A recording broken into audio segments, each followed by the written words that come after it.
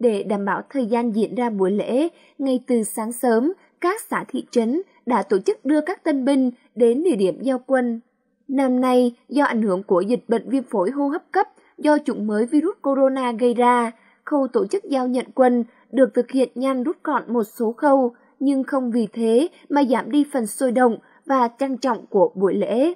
Khu vực giao nhận quân được cách ly, thân nhân tiễn con em ở bên ngoài. Trước khi vào buổi lễ giao quân, các thanh niên được kiểm tra nhanh sức khỏe. Theo các địa phương thực hiện sự chỉ đạo của Hội đồng Nghĩa vụ Quân sự huyện Đắc Minh, năm nay các xã thị trấn thực hiện đúng các bước trong quy trình tuyển chọn gọi công dân nhập ngũ năm 2020, đảm bảo các chỉ tiêu. Đến thời điểm giao quân, các thanh niên và gia đình đều chấp hành lệnh gọi.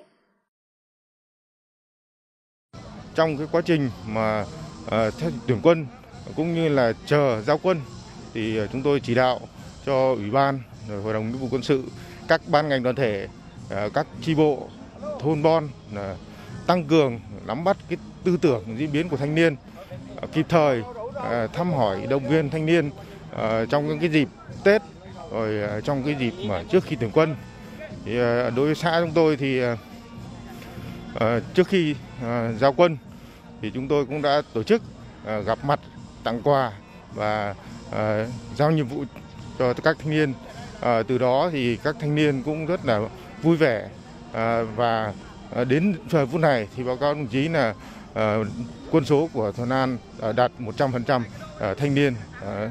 tham gia nhập ngũ năm 2020. Mặc dù không được vào khu vực giao quân, nhưng nhiều phụ huynh vẫn đứng ở phía ngoài để tuyển đưa con em lên đường nhập ngũ. Mỗi người một tâm trạng, nhưng tất cả đều mong muốn con em mình sẽ tiếp tục phát huy truyền thống cách mạng của quê hương và gia đình, tích cực tu dưỡng rèn luyện để hoàn thành tốt nhiệm vụ được giao trong thời gian 2 năm tại ngũ. Hôm nay nhập ngũ thì cũng à, động viên cháu là cố gắng à, vào trong đó làm nghe lời rồi à, hoàn thành tốt những công việc mà ở trên đã giao cho làm sao để cho à, xứng đáng với người con của Đắc Minh. À, và cố gắng làm giữ gìn sức khỏe à, để phục vụ cho cái công việc nhất là của à, mình rồi à, của à, cấp trên giao cho để mình à, hoàn thành. Làm sao để khi mà à, trong công việc của mình đấy đã hoàn thành rồi thì về với địa phương à, để còn phục vụ cho địa phương mình nữa. Cho nên à, mẹ cứ chúc con là lên đường là phải giữ gìn sức khỏe rồi à, hoàn thành xuất sắc mà công à, việc mà cấp trên đã giao cho. Trong đợt giao quân năm 2020, huyện Đắc Minh có 164 tân binh nhập ngũ vào các đơn vị. Sư đoàn bộ binh 315, quân khu 5 44 thanh niên, Bộ Chỉ huy Biên phòng tỉnh 30 thanh niên, Trung đoàn 994 71 thanh niên, và Công an tỉnh Đắk Nông 19 thanh niên. 100% tân binh lên đường nhập ngũ lần này đều có sức khỏe tốt, 100% có trình độ trung học cơ sở và trung học phổ thông, 100% là đoàn viên. Tại buổi lễ, sau nghi thức treo cờ, công bố các quyết định, phát biểu giao nhiệm vụ, động viên các tân binh, đồng chí Chủ tịch Ủy ban Nhân dân huyện đã ghi nhận và biểu dương các thanh niên đã chấp hành lệnh gọi nhập ngũ, đảm bảo quân số và thời gian quy định.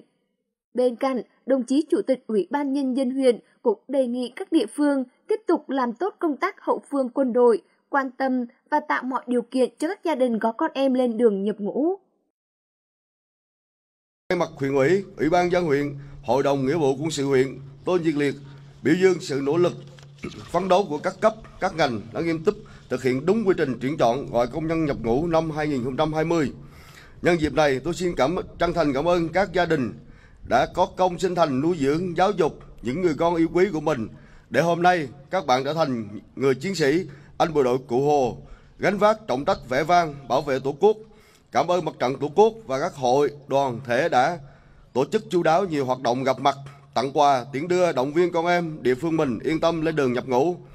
Chúng tôi đánh giá cao và cảm ơn sự phối hợp tích cực đầy trách nhiệm của bốn đơn vị nhận quân. Đã cùng với địa phương trong thời gian qua và tin tưởng rằng các đơn vị sẽ cùng chúng tôi và các gia đình tiếp tục theo dõi, giáo dục, rèn luyện các bạn trẻ sớm trở thành những chiến sĩ tốt, hoàn thành xuất sắc nhiệm vụ quân đội, công an giao phó. Tôi đề nghị các cấp ủy đảng, chính quyền, mặt trận tổ quốc, các hội đoàn thể và toàn dân trong huyện thực hiện tốt chính sách hậu phương quân đội, tiếp tục động viên, chăm sóc, giúp đỡ kịp thời và thiết thực đối với các gia đình tăng binh nói riêng và quân nhân nói chung để quân nhân tại ngũ an tâm làm nhiệm vụ. Đó là trách nhiệm chung của cả hệ thống chính trị trong sự nghiệp bảo vệ Tổ quốc. Đảng bộ và nhân dân huyện nhà tin tưởng sự phấn đấu, học tập và rèn luyện trưởng thành của các bạn trẻ. Chúc các bạn lên đường mạnh khỏe, vui vẻ, hoàn thành xuất sắc nhiệm vụ được giao. Cũng tại buổi lễ, thay mặt cho 164 thanh niên lên đường nhập ngũ, Tân binh Vũ Vũ Minh phát biểu xin hứa với các đồng chí lãnh đạo huyện sẽ tiếp tục xây dựng ý chí quyết thắng, khắc phục khó khăn, hoàn thành tốt mọi nhiệm vụ được giao, xứng đáng là người chiến sĩ công an nhân dân, quân đội nhân dân Việt Nam anh hùng. Thấm nhuần lời dạy của Bác Hồ, các vua hùng đã có công dựng nước, bác cháu ta phải cùng nhau giữ lấy nước. Hôm nay, chúng tôi rất vinh dự thay mặt cho hàng ngàn thanh niên các dân tộc huyện Đắc Minh thực hiện trọng trách mà Đảng, Nhà nước và nhân dân giao phó với khí thế của tuổi trẻ. Chúng tôi nguyện đem hết khả năng, trí tuệ, sức lực của mình góp phần vào sự nghiệp xây dựng và bảo vệ Tổ quốc, xứng đáng với lời dạy của Bác Hồ kính yêu. Đâu cần thanh niên có, việc gì khó có thanh niên. Đây là động lực cổ vũ, động viên tinh thần cho chúng tôi quyết tâm hoàn thành xuất sắc nhiệm vụ được giao. Kính thưa quý vị đại biểu, hôm nay trong buổi lễ long trọng này, thay mặt cho 164 thanh niên lên đường nhập ngũ và lực lượng quân đội nhân dân và công an nhân dân, chúng tôi xin hứa xây dựng ý chí quyết chiến, quyết thắng, tinh thần khắc phục khó khăn, chịu đựng gian khổ, không lùi bước trước mọi khó khăn thử thách, thực hiện tốt nhiệm vụ huấn luyện, sẵn sàng chiến đấu, luôn nhận hoàn thành xuất sắc mọi nhiệm vụ được giao, xứng đáng là người chiến sĩ công an nhân dân, quân đội nhân dân Việt Nam anh hùng.